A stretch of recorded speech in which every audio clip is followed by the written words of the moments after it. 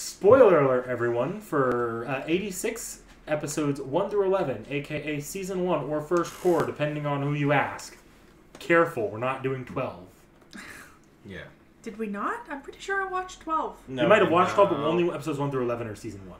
Oh yeah, yeah, Yeah. we did watch tw- Realm. So we, Realm. wa- we watched the recap.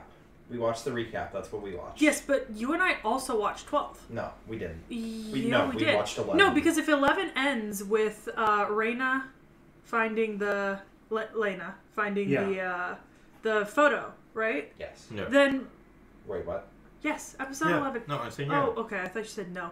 If that if that's where it ends, then that does that take place during the same episode as like them finding the boiler Yeah. Yeah, and visiting the Giad Empire? yeah. Yeah. Oh, okay. So 11 then. All Lena right. really takes a back seat in the last few episodes. I was so she gonna only say- gets like that one scene in the last few Wait, episodes. Gia Oh, okay. Empire? Jihad. Oh. The Giad Empire. now That's- that right the- there, no. Well, no, they, Well- they go No, to the old see Empire. Yeah. Oh, I know yeah, what you're yeah, thinking. yeah. Yeah, they Okay, find the city. Okay, so yeah, okay, okay. So spoilers for episodes 1 through 11. We'll try not to spoil episode 12, but gotta Look, if. I don't know Yeah. what it is, they're spoiling episode 12 Yeah. because I didn't watch episode 12 because I'm waiting. I think between a light novel reader and just how quickly the context of everything changes in episode 12, we might accidentally spoil it, so I'll, I apologize in advance if we I'll do. try to keep them from doing that because I Yeah. don't want it spoiled for me either. yeah. because I actually really like this show. But with that being said, I think I want to talk about characters first, maybe Okay. Yeah. because I think themes and themes, especially, and like little extra bits that we notice that have to do with the themes and emotions, is going to be a really, really long Yeah. part of this. Oh, I'm probably going to talk ad nauseum about that. So I want to talk about characters first. So we meet essentially kind of a core cast of characters, right? Yeah. And we've got M- Vladilena, Yes. right? Who's the the squadron leader in the capital city. Uh, her uncle and the scientist, who's her friend, are our Yeah. three characters that we talk about in the main city. Yep. And then in the 86, we have the squad, Yeah. of who there are diminishing returns for how much we get characterization of them because we get a lot of characterization on the five that are still alive in episode 11. I mean, early on in the series, they Oh, do yeah. make it a very big point to get you to, like, see these characters having a happy, fun time before they start killing them. Yeah, but a lot of it feels now like kind of nostalgic Yeah. memories. Don't you remember all those dead people? Yeah, and then Especially with like uh, Fido's uh, cam. Oh, Oh, God, God, that the scene Fido hurt. cam. Yeah. the Fido Yeah. cam was heartrending. Yeah. Like, uh, is this is this some sort of recap? Yeah, and then, And then it ends with Fido's fucking death. yeah, Yeah. and then we have and then we have the mechanic, right? Yep. Yeah. And Mhm. we've got the Undertaker's brother Yep. as a big character. And then outside of that, it's just the uh, as I affectionately call them, uh, The what Suicide Squad? No, I was gonna say, uh, oh yeah, Mecha Pteranodons. Oh, yeah. yeah, because it is actually like that a lot. Uh, Yeah. The Legion. Yeah, Yeah. the Legion. Legion. So, so those that's essentially the cast we're working with. We've got the 86ers, we've got the mechanic, and we've got the three in the capital city, and then the Legion. That's Yeah. what we're working with. Nick, Nick's just trying to get out. So, speaking in terms of characters we have in the capital, we have Vladilena, Milizé, Major her yeah, her Yeah. uncle, and the scientist, one. Yep. who is her friend and her age. Yep. So, honestly, I like Vladilena. Um, I think she represents a lot of what I would consider situational naivete. I think Lena is definitely thematically the most important character to these first 11 episodes as far as what the messaging is trying to convey. Yeah. Because she's the one who we see discovering all this from the viewpoint that we have of not knowing the background. Like, she is learning episode by episode of all these horrors and atrocities and things like that. And so we are learning with her, while whereas the 86ers already know all this stuff. Yeah. So Yeah. all of the like because I don't think the 86ers because the 86ers they know they're going to die. Yeah. Yeah. They, they they're living their life to the best of their extent at this point. But and they for already the- and they're comfortable hating the people at the Capitol. But for the majority of this show, up until I'd say episode like eight or nine, Vladilena is still convinced that there is a way to save them. Mm-hmm. She does not know that the 86 Spearhead Squadron is a death squad. Yeah, and yeah. all of what Lena, like all of Lena's arc, like Lena's the one that has the arc of this Yeah. series. She's supposed. I guess you could say she's the stand-in for what the allegory is supposed to be here, because it's supposed to be calling out the ways that in which your general life can fuck over people that you don't even see. Yeah. Yep. And I want to be very brutally honest here. There are incredibly strong Nazi overtones in this Oh, whole show. oh, yeah. Thi- This is just the Nazi internment camps and like Auschwitz. It's like if Nazis had a zombie apocalypse in the Yeah, middle of it. that, that's all Yeah. this is. So I want to be very clear that we will be mentioning that this is similar to certain things, and that's why we're going to bring up things like racism and stuff because this is what Lena's dealing with. So Lena is coming from the kind of, I say, British coded capital city. It's Yeah. essentially Western European coded in terms of like esthetics Mhm. And these are the people who believe that 86ers, as the main title titular characters are called, 86ers are not human. To be very specific, in a textbook entry, if you pause one of the frames in the show, it actually refers to them in a textbook with a body diagram as humanoid pigs. Yeah, Yeah. they bring that up a couple Yeah. times. Um, I just said um, ha ha ha. Lena is very much so a fuck, fuck, fuck, fuckity fuck. She's naive. Lena's a She's stand- a princess. No, that's not. Lena is the stand-in for the allegory. Like we, Lena is the character who, at the beginning, she works with the 86. and She doesn't see them as non-human. No, there's actually But- a point right at the very beginning where she gives that like she lectures a uh, college class. lecture. Like she steals a college lecture in the middle. She's like, I know this, uh, and the 86ers call her out. Like you can say how wrong this all is all you want, but you're not actually helping it. and You're still part of the system that's fucking us over. Exactly, but as you go through the episodes, Lena kind of learns and realizes that while she while she believes that this system is wrong, right? She does not know the scope of this system at all. She has some sense of that they're human and she considers them to be human. And it's true that it's, to, it's talked about Yeah. in some of the episodes that there are good people in the the Public. in the Republic. Yeah. Yeah. It's like some of the 86ers were raised by people who are sympathetic to 86ers. So this is not just Lena who considers them human. Mm-hmm. But Yeah.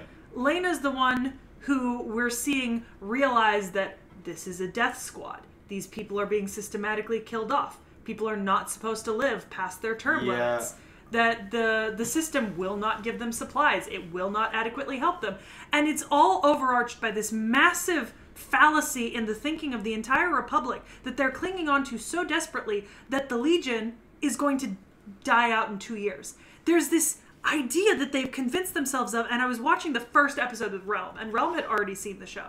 So he knew what was happening. And I was sitting there and they were talking in the college lecture and they were saying the college professor was saying that the legions only have a specific lifespan and within 2 years they will all have died out and we will be able to continue without war. There will no longer be war in the republic and this is why the military is outdated. And so they're talking about how military personnel are not going to have a good reference for job prospects because they their job doesn't matter anymore in 2 years. And I said to Realm as they were explaining this, I said that feels like a huge leap of logic.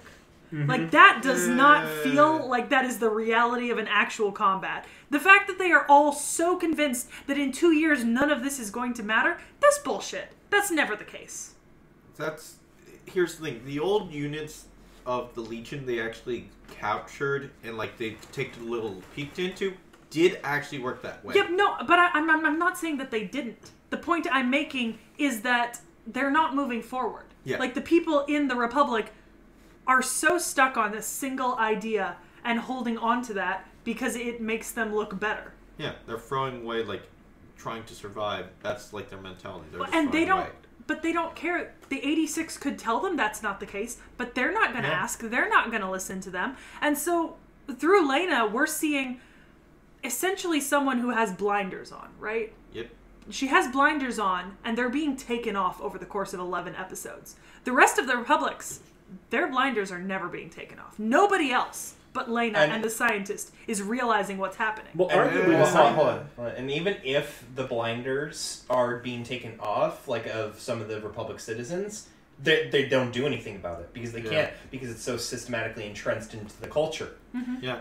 The or in in theory, the scientist, based off her arc in the show, actually already has her blinders off, but she's so overwhelmed by like she is making the conscious choice Yeah. to put her fucking binders back on. no, they're off, but she's just so cynical about it, she doesn't care anymore. Yeah. Yeah. Whereas Lena is getting the blinders taken off and is horrified by what she's seeing. The, the scientist has her blinders taken off, but she is making the conscious choice to not look at any of what's being exposed Yeah. by the missing blinders. That's it. That and I think that's a really interesting that we see three characters in the capital.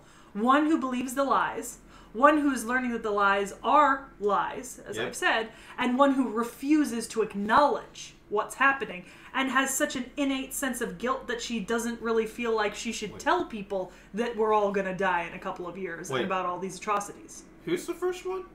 The uncle. He The firmly uncle believes all actually- this. No, the he uncle knows. actually he's for he's trying to keep the blinders on the people. Yeah. He Yeah. knows he, his blinders are off. He's actively trying to keep everyone else's Yeah. blinders on. Yeah. He's But- accepted them. Yes, but he but that's in terms of the 86. He still Yeah. doesn't acknowledge that the war isn't going to be over in 2 years. That's what I'm talking about. I'm talking about the legion being essentially not Yeah. not uh not timed. Yeah. Their existence is not on a timer anymore. Uh, Like I said, Lena is a great character Yeah. overall for 11 episodes. She only has one moment that I do not like in 11 episodes. And they don't really pursue it, and nothing really leads up to it, so it's just like a minute of content that I didn't enjoy. Uh, which one? Ah, the scene where she's talking and her chocolate has a heart on it and she goes all blushy and red.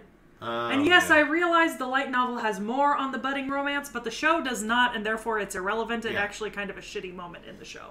But it only lasts for like 60 seconds, so it doesn't really matter. Actually, I want to talk about the uh, discrimination and like uh, Lane actually noticing in the novel. Uh, what they actually pointed out is you don't see any 86 Yeah. in like the. Uh, she's in Sector One, the most Yeah. high class sector, because there were actually 86 Yeah. in the like. Yeah, they make that very clear Yeah. in the show. That's not the light novel. We see that in the show too. That's Yeah. that's the whole Yeah. thing with the Undertaker and the scientist. Yeah, here's like that's made very clear. She didn't even realize it until they pointed out.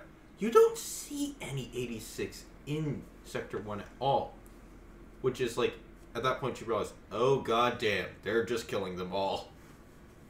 I mean, I don't think that's necessarily the immediate con- leap to conclusion. I mean, this reminds me more of like, uh, this reminds me more of a society that's so stratified that you don't realize there's no African Americans in the city you're living in until someone points it out. Because Yeah. logically, you know that they're there, but you just don't acknowledge that they're there or not. It's like uh, the districts in Hunger Games. Yep. You just don't see people of certain classes in District 1, but you don't necessarily think about it if you're living there every day. Yeah, but like they didn't point it out in like the anime, and I kind of just wanted They to do did that. really point it out in the anime. They, Well, they like, talked about like, how straight out like saying it though. they Did kind they? of did, yeah. The whole thing with the scientists, they pointed out that like And- and- every 86 member in the capital city was removed. Oh no, I'm not talking about that scene. I'm talking about when uh, Shin and the team were talking to her about discrimination and their pride. Yeah, but they talk about that a lot. They, they, That they- is a constant reoccurring topic. It- they cover it. It, it is something that's covered, maybe not to the same degree, but it's still definitely a, to- Yeah. a point, a talking point. Yeah, I guess that's my problem with it. It's not to that degree, and I kind of liked it to that degree. But it's still pretty good. Yeah. Also, if we want to talk about light novel, let's save it for free thoughts Okay. specific because that might get into spoiler territory if you don't know where to stop. And I'm trying my best. Yeah, but, I don't free- trust free these thoughts. two. But free thoughts. Yeah. but free thoughts. yeah, free thoughts because right now we are talking about the anime. Yeah. People are not. A lot of people won't have read both or Okay. done both. Uh, all right. So- So, we've talked. Uh, so I think we've talked enough about the uh, the capital characters. So we're talking about we the wanna- 86ers now. Yeah. Yeah. So with the 86ers, we've got a squad, Yeah. the the Spearhead squad, and what we learn later in the show is that the Spearhead squad is basically the end of the line for any 86ers that have been. This is maybe the worst way to put it, but successful enough to survive most of their term of mandatory service. Yep. So anyone who's go- who's going on four years or five, because I think they serve what six years. Yeah. They no, serve five. Five years. So anyone Five-year who's term. four or close to five years Yeah. gets sent to Oh. Spearhead. Uh, four or in their fifth term because they get sent in about six months there. So yeah. Yeah. Like I said, yeah. Anyone in their fourth or fifth year. So and this is where they're essentially sent to die. they're supposed to die either fighting them or on an expedition at the end of their term. Yeah. Yeah. Once there are so few of them that they can just send them for an expedition. Yeah. Um, which is brutal. Yeah. And we Yeah. get a lot. The show itself really emphasizes the brutality of it. I mean, one of the parts of the opening, we didn't talk about it specifically when we were talking about uh, the last segment because we shouldn't have, and that was good. But the last scene of the opening in every episode, right before they show a very particular flower that I'll talk about, is an image of all of the dead members of the squad. You see their backs. They're standing in a field looking at a sunset, and you're looking at the backs. And every every time someone dies, they're added to the opening. So you start the show with maybe only one or two people showing up in it, but by the end of the show, there's like 20 something people in this shot. And right after this shot fades, we are taken to an image of a single red spider lily that withers and dies. And the red spider lily symbolizes a final goodbye in Yeah. the language of flowers Yep. and in Japanese mythology. It is a final goodbye. Isn't And- it also I remember you as well? Nope, just final goodbye. Okay. Yeah. This is the last time you will meet these people in this life. So, I mean, that's a really kind of. Like they're driving the point home of these characters are they're they're not living they're not living Yeah. the good life. They're really not. Yeah, there's a graffiti on one of the walls of the base they're in that says, Welcome to Spearhead, the squad closest to heaven. Yeah. Yep. As NikNak said to me off podcast, uh, makes it hurt in my meow meow to see it. I, I know NikNak was really. I think he, he had the most emotions regarding this show. I know I am kind of hypocritical in that I understand the emotions of this show, and I get that there's like sad parts and happy parts and depressing parts, but I didn't actually like cry or or like emotionally react all that much. Yeah. Maybe because I was binging. Uh, maybe because I was discussing the show with Realm as I watched. But so in this respect, I am not the emotional go-to here. Normally, Yeah. I'll be like, I cried. I did not, unfortunately, but I think NikNak did. Um. And I think there were some very specific moments. If you wanted to like touch on maybe, I think the final moment where Lena's finally able to humanize all of these people she's been hearing about their issues from basically across the country. She's finally able to put a face to them, finally able to humanize them, and you just see the like the full emotional weight. Like she she's obviously connected them this entire series, but it finally hits her uh, in that last moment where everything sort of becomes especially real. Because Yeah. she she's drawn little characters of them on this organization board she Mm-hmm. has, and she kind of takes their faces off and puts them in a glass box when they die. But she comes to the base after they've left at the end of the show, and there's a picture that they left for her of all of them, and then someone has drawn on a separate piece uh, a recreation of the image with all of their names, so she can finally see what they actually looked like. Yeah. Yeah. And I mean, she's been talking with these people every day for however long this show covers. It, it, there are actual dates at the bottom of the show, by the way, so you could actually Uh, figure out like how many months it is. I'm I'm not sure. I didn't It's- I think track. three. I yeah, don't it's like it's like two three months. It's just this heart heart wrenching moment where she can finally put a face to them after they've already become, in her eyes, a victim to the system. And they Yeah. they all leave notes, and I think the the note that actually got me a little bit was Undertaker. Shin's note left for her is, if you make it here, leave flowers for us. Uh, if you make it to our, To our final- final, destination, Yeah. please leave. flowers Please for us. leave flowers for us. Yeah. Yeah. Oh, that hurt me. Yeah. That hurt me deep inside on an Oh. emotional level because she's standing. So, in the previous episode, when they leave, they kind of set off into the sunset down a railroad track. And it's got this really beautiful music playing in, and it kind of feels like hopeful in a way because they're playing it off as potentially something that is a little bit hopeful but also poignant and depressing. And this last scene, when she's reading Shin's note about the flowers, she's standing on the same railroad Yeah. track looking down it just at the straight direction. up hard cuts to that railroad Yeah. track. Yeah, and she's standing on it looking down at the way they went. And then she says something like, I'm going to keep going for them, Yeah. and then walks in the other direction. Mm-hmm. Whew. Yeah. Oh, oh boy. Yeah. God damn it. Yeah. That hurt me.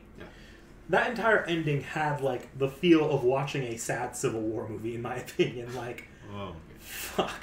Well, it, it is it. It's not Saving Private Ryan. That It I'm might be. It, it might be. That's the but- depressing one. Yeah, but it, it it's it's along that kind of line eh, almost in its own right. I do want to go back a bit more. Um, the God dang it, I did that.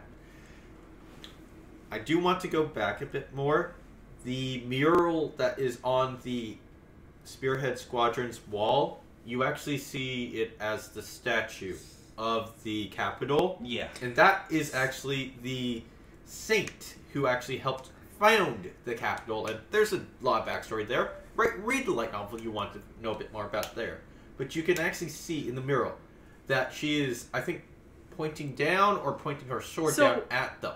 Yeah, so fun fact, um, I was watching this with Realm, and so I'm uh, I'm of Eastern European descent, and I've actually been to several monuments in Eastern Europe, and one of them is um, it's, it's in Russia, and it's the Motherland Calls or something like that, and it's a very similar statue of a woman gesturing to a population kind of behind her with her sword stretched in front of her is is the statue. And it was incredibly reminiscent of that for me. And that actually hit me maybe the hardest out of any scene in this anime was seeing the statue to be honest. Yeah, and I mean the and I mean the na- and the Republic's flag is like a mix of like the American, Russian, and German flags. well real, really Yeah. the the russian and german because it's it's the same colors as the american but you could say that of about 15 european flags but it's got the same striping convention as the russian flag and the former german flag and Yeah. the current german flag Because, like, Yeah. uh, it's actually based off the, like, principles of, like, the old flags of, uh, what was it? Loyalty, brotherhood, nobility. Yeah, or like the three sections of the Yeah. population. You had one color for each, like the plebeians, the aristocrats, the whatevers. Yeah. And I think one of the things I want to mention now that I've kind of brought up the fact that there was a lot of I, there was a lot of Eastern European and Western European influence was that's one of the things is that's different between the 86ers and the Capitol, right? Yeah. That really shows the difference in their treatment and how they're viewed is the way that their surrounding buildings look. So in the Capitol, it's really beautiful. It's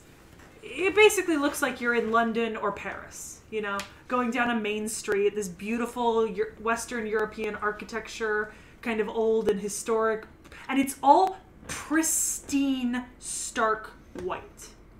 All of it. mixed with a bit of uh, more modern day technology, if not Yeah. more advanced than But, our own. but the current coloring is like white on the buildings and stuff like that. With there are accent colors, but it's primarily white. But you go out to the realm of the 86 and everything. So I watch a lot of urbex videos. I'm going to preface this, especially European urbexers.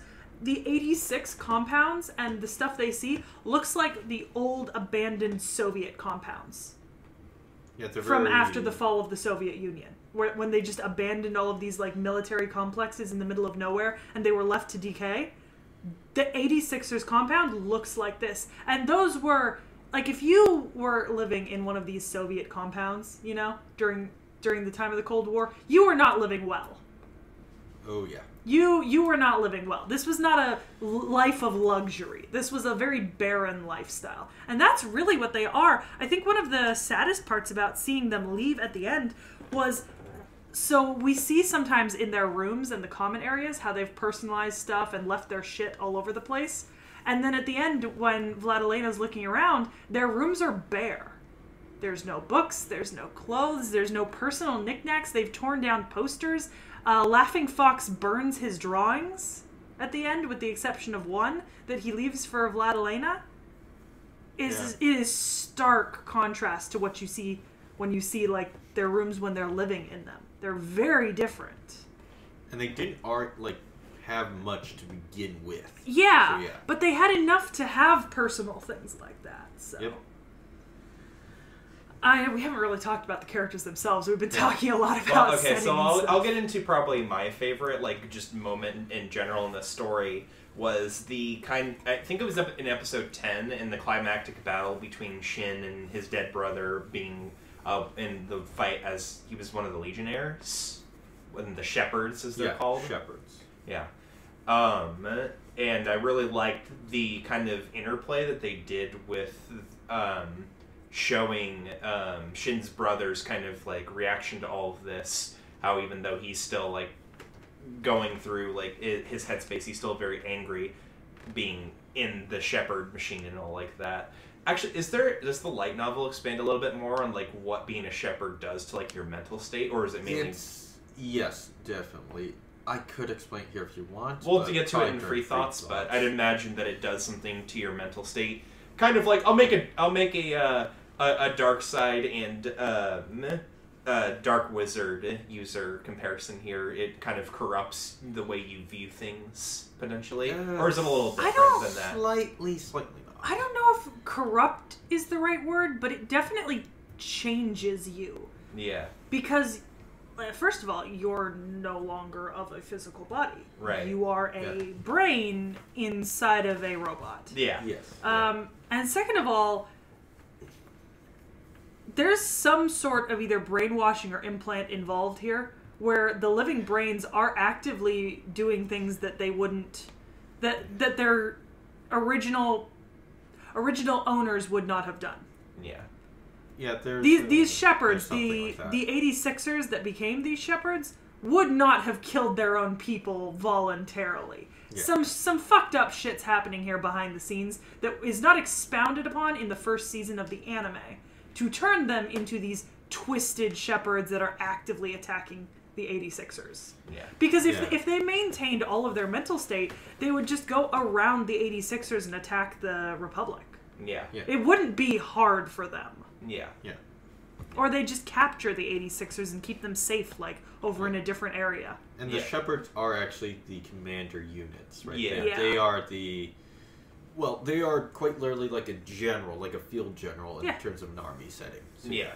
But um, Because the, the dead brains can't form, like, complex plans and thoughts. Uh, uh, Not in the kinda. anime. In the anime, the dead brains cannot form complex thoughts and plans. Yeah.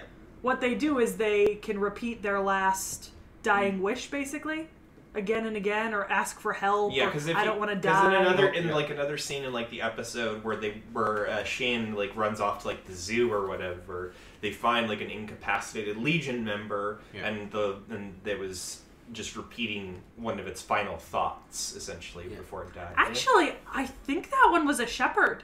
Oh, was it? That, That one was, a shepherd because it was a a former shepherd. 86er, Oh, ah, okay. and he and Shin could understand the 86er, but the 86er couldn't understand them. Yeah. That was the problem. Yeah. Or it's more like I I think it's more like mind reading in a way where like they can read their minds, but they can't really speak back to them in turn. Well, it's just Shin though. But yeah, it's just Shin. It's just Shin's Yeah. kind of thing. He can hear what they're. I'll explain a little bit. That's more in something free thoughts. special, I think. Okay. I don't think it's a general kind of mind reading ability. Yeah. Okay, but Uh, I got I got a little bit off topic there, so Yeah. I'll just continue with what I was thinking. I, I like that I, I like the climactic um, bit at the end there, and then just the final.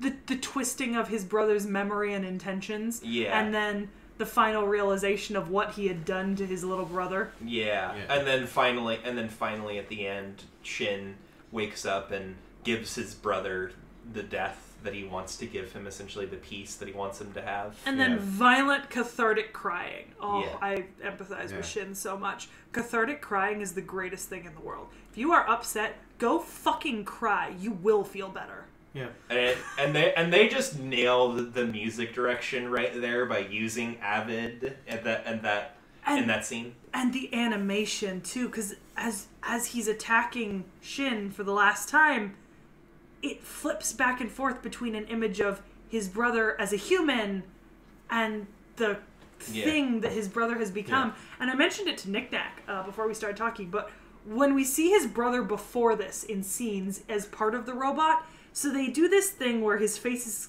it's just his head you know Yeah.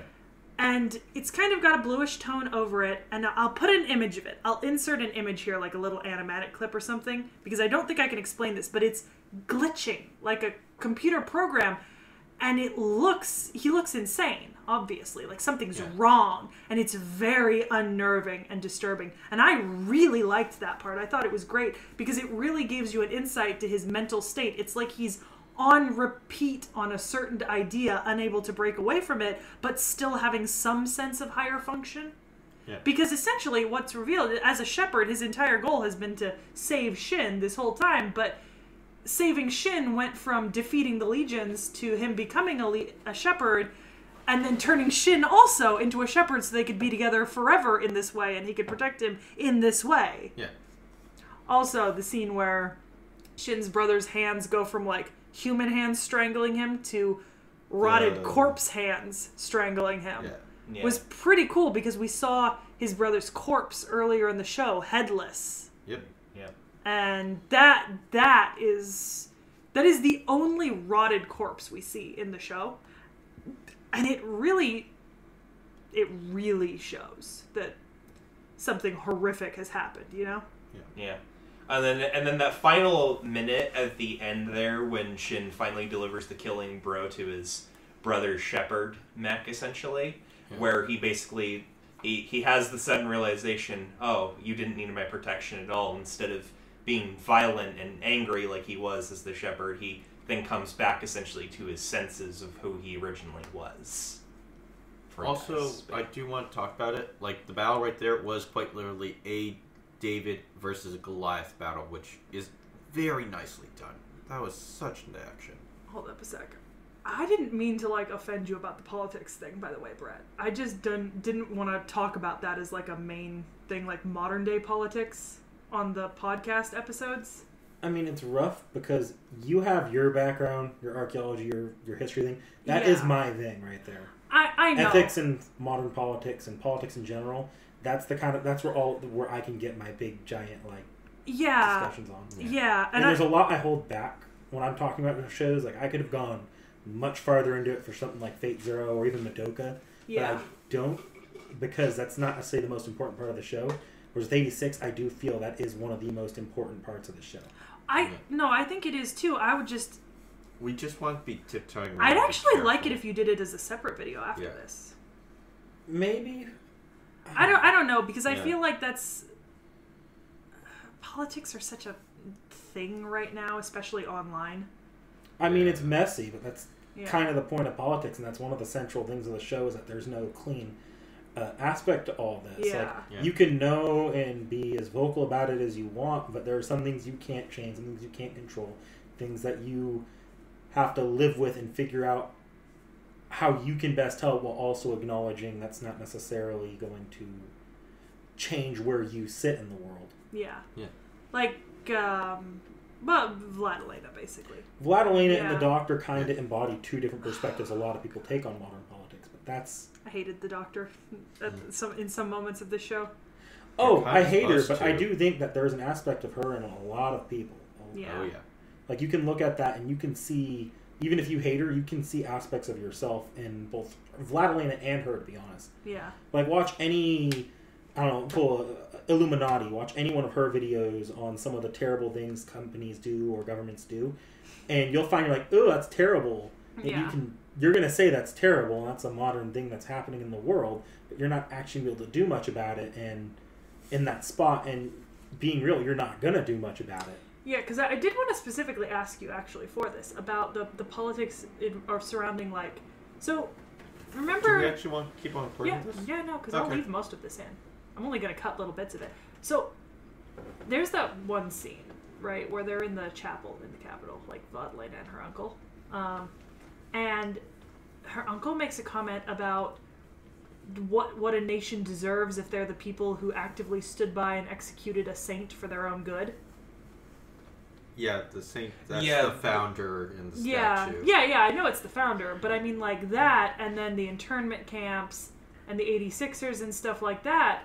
I mean, so politically, I don't really like. I see the politics right behind it, but her uncle keeps saying that it's it's the will of the people. Well, because that entire thing is supposed to be calling out a lot of um, modern Western society's Yeah. fascination with Enlightenment ideals for centralizing their politics around. A lot of first world countries and especially democracies do that now. Um, America is one of the more obvious ones because you have like your because it's so heavily patriotic compared to a lot of other Yeah, countries. because he says several times, like very specifically, he says that the the military serves the will of the people. The people have spoken. Yeah. But if you look at any one of these countries' histories or any one of these countries' actions now, they do not live up to those ideals they espouse. So Mhm.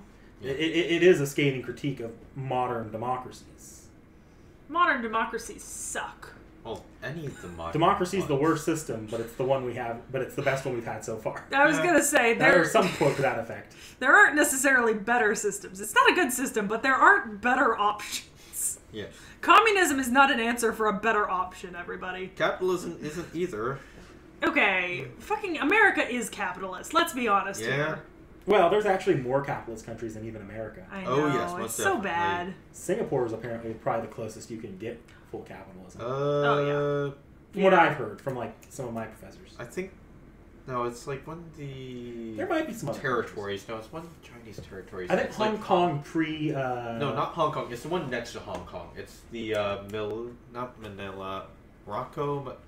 But it, it was taken over by the British. It's one of the ones that is right next to Hong Kong. I can't remember the name. If anyone freaking knows it, put in the comments. Hong Kong is the city that was taken over to the British in that No, area. there's another one right there. That was also. Okay, the sun never sets on the British Empire. British. yeah, the Britain, British Britain doesn't count. Yeah. Yeah. Britain doesn't count. Fucking British people, goddamn. Yeah. No, but like, Offending a significant population Uh, of English speakers. Yeah, quite literally, if you are king in that like territory of China, you are quite literally king. You got enough cash, you're king. Anything will go your way. So yeah, even like freaking North Korea usually goes over there to actually do its uh, stuff because it's going to spend money there. So technically, they're king there. So yeah. I need you to speak up. Okay. Yeah. Sorry, uh, it's just how I sound. Okay. I know, I know. But your Difference voice is is you were, also foot, you were facing me, not the mic. So, Yeah. so while the mic might have picked you up just fine, you're facing me. Uh, and something I learned the other day, apparently, I was talking to my brother about sound quality and stuff like that and hearing. I come off louder because I speak in a higher register than you guys do. Bass automatically registers as lower, and because my voice is higher pitched than yours, I will always come across as louder. Because hmm. higher pitched noises sound louder than lower pitched noises in the human ear, even though there's no volume difference. That Yeah. makes sense.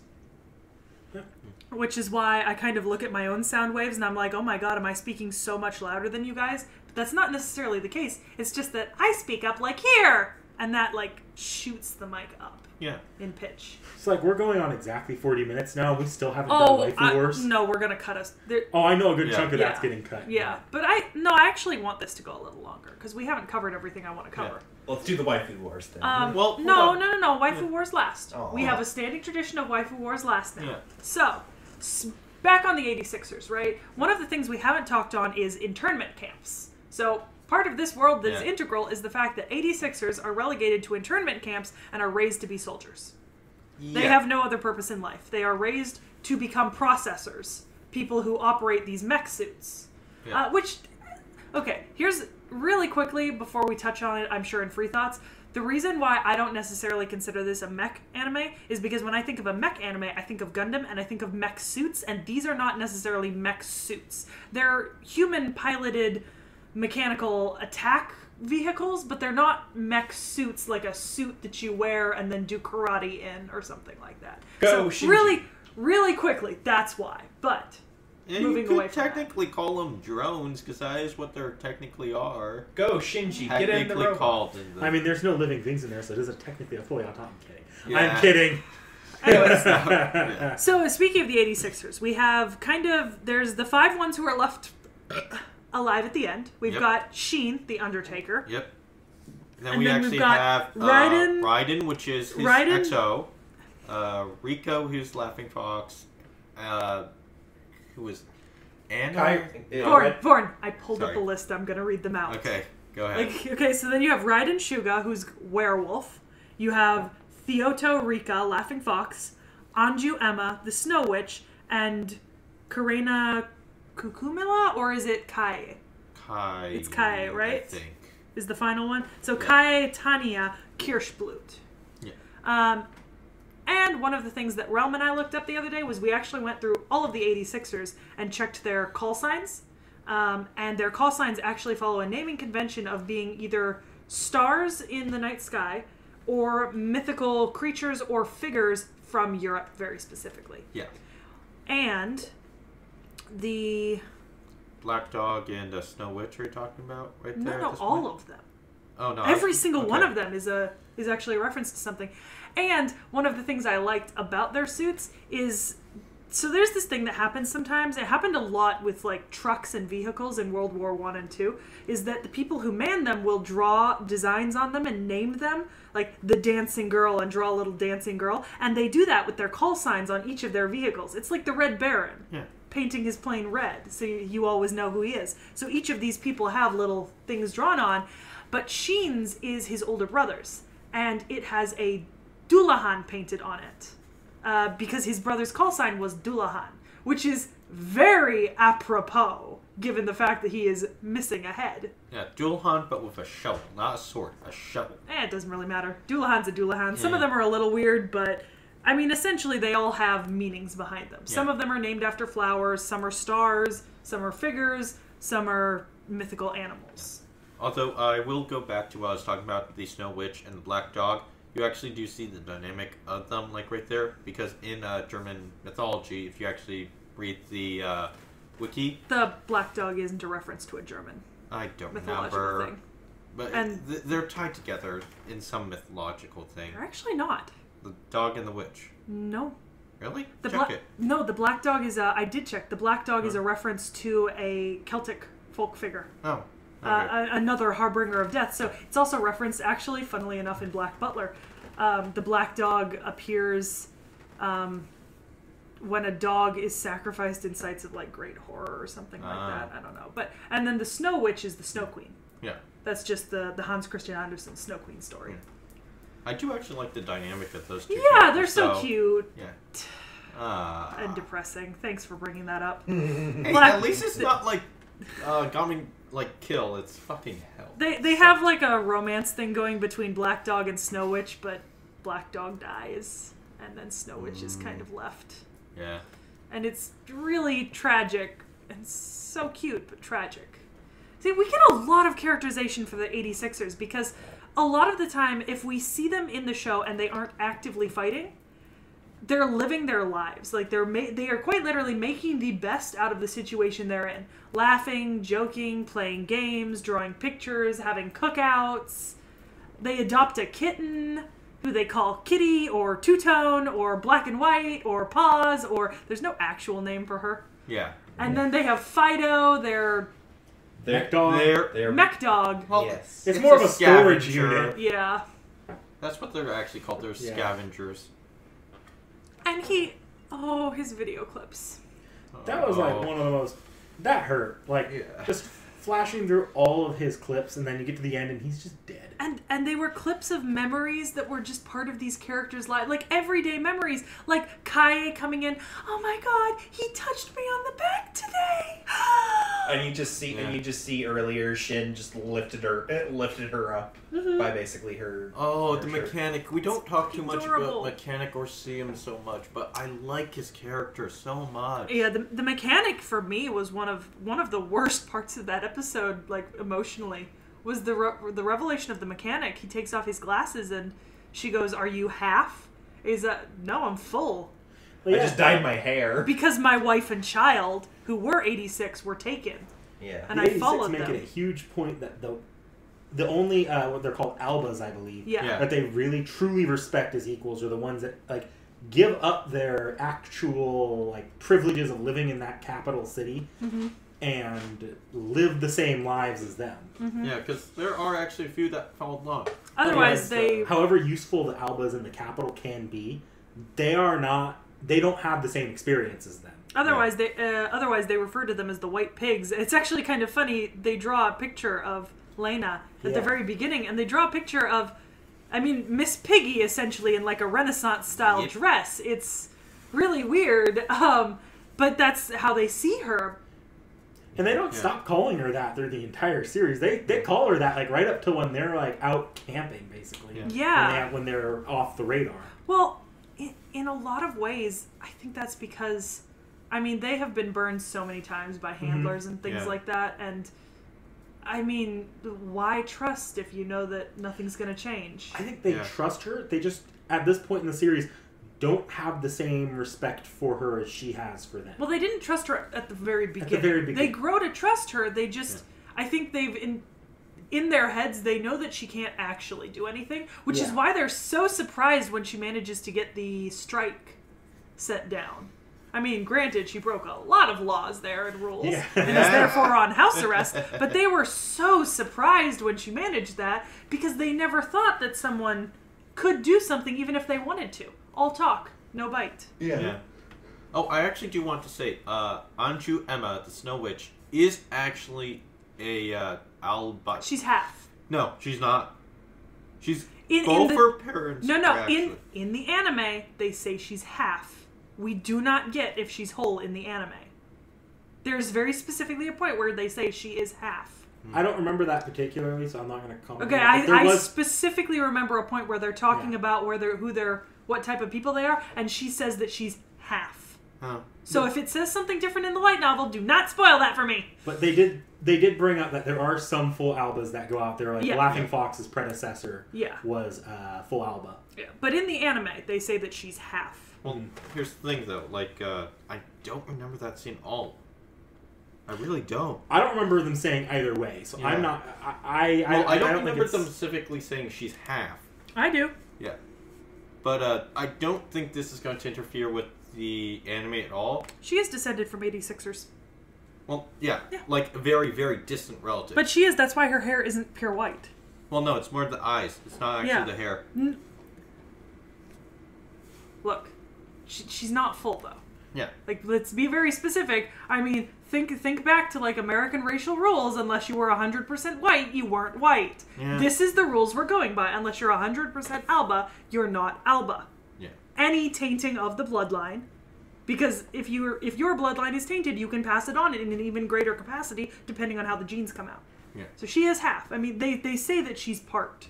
I don't know if they say half, but they do say that she's part Yes, Alba. that was what I was going to Yeah. try to fight you on. But yeah, But she's not. than that, yeah. She's not full. Yeah. Uh, and in the anime, they don't show her with silver hair. Her hair is like purplish, like on the purplish spectrum in the anime. Yeah.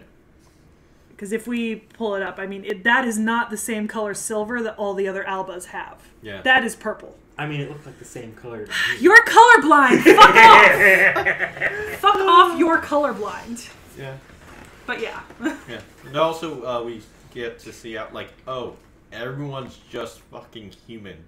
Like freaking like the '86. There's some crap people. There's some nice people. Alba, same thing. Yeah.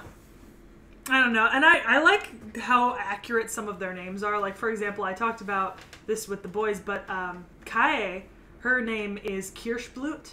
And they talk in the anime very specifically about how she was discriminated against for the color of her skin and hair, even in her own community, because she's redheaded and she's a little darker skin toned. Yeah. And Kirsch, so Kirsch is a German cherry cordial liquor, and Blut means blood. So it's actually calling her like cherry blood, or something along those lines. She's a mudblood.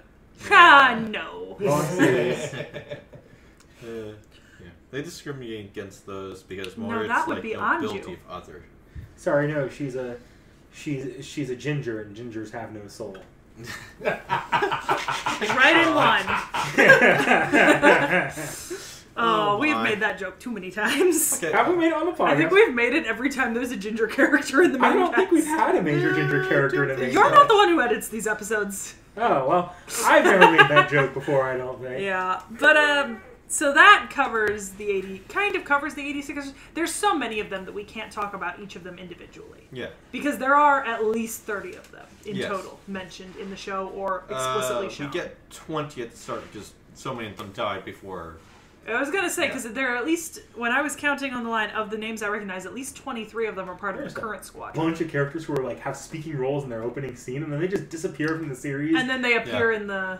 In the flashback. So like, Yeah. they they kill off these characters pretty I- liberally. I think we start in in the first episode. There's already three dead in the Uh, Yeah. in three that scene at the beginning. Three Yeah. or four. like they were leaving the compound towards the end of the series. I'm like, wait, there's only that many left. Yeah. Yeah. Oh, there's a, there's a scene at the very end where the five of them that are left are sitting in the dining hall eating, and then it changes to the image of them from earlier in the series where all 26 of them are sitting in the dining hall eating and then switches back. Yeah. And it's such a stark contrast because in when they're all there, they're all spread out across the tables and laughing and having fun, and then it switches to like a kind of a darkened room with just five at a single table, kind of in the corner. Yeah. yeah, so sad. Th- there is so much to so do much with the. symbolism, so much background. Yeah, there's Yeah. so much to do with the symbolism in this show and the characters and how they relate to the themes and storylines, and each develop to be individual, personalized people that we literally cannot cover it in a decent length episode on this podcast. yeah. Waifu Wars now? Yes, we can go Oh. to Waifu Wars. Waifu Wars! Waifu Wars. Waifu Waifu Wars. Wars. Realm, go! Fido! Fido is best girl. Oh my fucking god, NikNak. Uh, I'm gonna go Lena. Okay. I'm gonna go with uh, Snow Witch because I just feel so sorry for her. Uh, my favorite is Raiden, werewolf, Ah, who Realm affectionately calls a Diarmuid dupe. The Diarmuid looking motherfucker. I didn't even realize actually because I don't remember Diarmuid very well from Fate Zero, but he does kind of look like Diarmuid. But he has a great personality. I like him. He has a, a similar thing going to Zoro uh, in later One Piece, where he's got all the kind of joking around and the camaraderie with the other characters, but when necessary, he can be very serious and acts truly as a second in command, like he should. well, yeah, because Shin goes wild, and then like someone has to pick up the Well, yeah, pace. but not even there. It's mo- in multiple places he actively steps up as second in command. Yeah. All right, well, I think we've we sort of done this as much as we can. This has been an excessively long story section. so- Okay, to be fair, we could have kept going. no, I know we can keep Yeah. going. But we need to We cut can- it at some point. Yeah. we got free thoughts So, still. See you next time, guys. Try harder. Like, comment, like, comment, subscribe.